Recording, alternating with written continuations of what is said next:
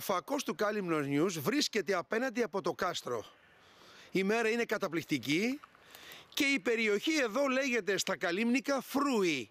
Δηλαδή το Φρύδι είναι απέναντι από την Παναγία την Κεχαριτωμένη. Τώρα τι μας έφερε εδώ; Όχι τα κτίσματα αυτά τα παλιά, τα Καλύμνικα, που όταν κάποιος έρθει θα δει την παλιά χώρα ο παπά Αμφιλόχιος βλέποντας το ρεπορτάζ από τους επικίνδυνους βράχους του Αγίου Μάμα με πήρε τηλέφωνο για να μου πει ότι και στην περιοχή αυτή εδώ υπάρχουν σημεία τα οποία είναι ιδιαίτερα επικίνδυνα. Μάλιστα μου έδειξε και δύο σημεία, ένα όπως αυτό εδώ, που εδώ στέκεται κυριολεκτικά στον αέρα η πέτρα. Εμείς λοιπόν στον παπά Αμφιλόχιο δεν του χαλάμε χατήρι, γιατί τον αγαπάμε και ιδιαίτερα. Παπά μου, καλή σου μέρα. Καλημέρα γέρημά μου. Τι κάνουμε; Με... Καλά, δόξα Θεώ. Να εδώ είμαστε στο Φρούι. Ο παλιός οικισμός, ίσως ο παλαιότερος οικισμός τη Καλίνου, μετά το κάστρο, εδώ ήρθαν και κατοίκησαν οι άνθρωποι. Γιατί ήταν το Φρούι μπροστά, εδώ πέρα όπως βλέπετε, το, αυτό, που δεν είχε ορατότητα να δουν οι πειρατές ή οι Τούρκοι του. Ήταν δηλαδή για ε, χώρος προστασίας ναι, εδώ, ναι, ε; ναι. Και εδώ ήταν ένας μεγάλος οικισμός, ίσως μεγαλύτερος. Μα φαίνονται εδώ, φαίνονται τα, τα χαλάσματα. Λοιπόν, έλα παπά μου, για πες μου. Λοιπόν, το ρεπορτάζ που κάνετε για τις πέτρες, τις επικίνδυνες.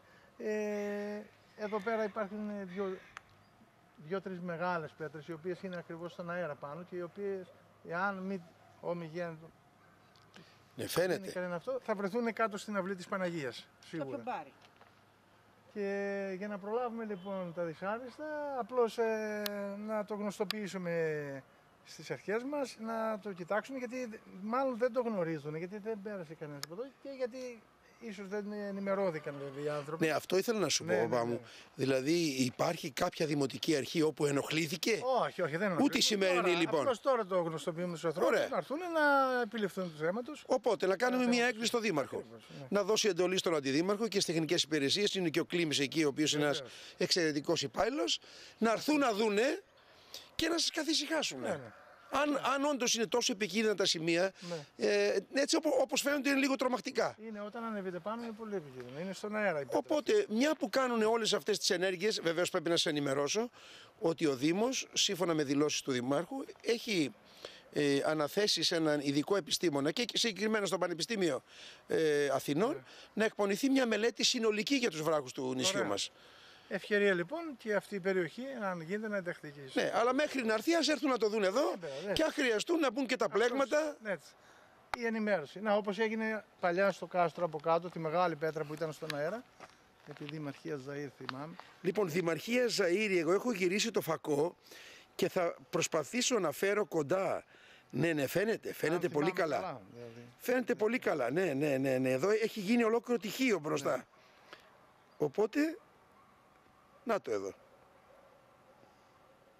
Ναι, βεβαίως. Είναι ένας μεγάλος βράκο. Μακάρι, μακάρι ο Δήμος να ανταποκριθεί που πιστεύω ότι θα ανταποκριθεί αμέσως να σας λύσει τις αγωνίες σας. Ευχαριστούμε για τη. Λοιπόν, παπά μου, να είστε καλά, γιατί θα πάω κάπου αλλού. Θα πάω κάπου αλλού, αλλά με την ευκαιρία αυτή σας λέω. Ελάτε να ανηφορήσετε απέναντι από την Παναγία και να κάνετε μία βόλτα όταν ο καιρός είναι όπως τώρα, καταπληκτικός. Θα δείτε χαλάσματα που δεν θα τα πιστεύουν τα μάτια σας. Ο παλιός οικισμός της χώρας, που εδώ πρέπει να πούμε ότι σε άλλα νησιά, σε άλλες πολιτείες, σε άλλα μέρη, αυτά όλα αναδεικνύονται και είναι τόπος που τα επισκέπτονται πάρα πολλοί τουρίστες. Ε, εμείς εδώ πάσχουμε λίγο, τουλάχιστον δείτε τα με το φακό του Κάλυμνος News.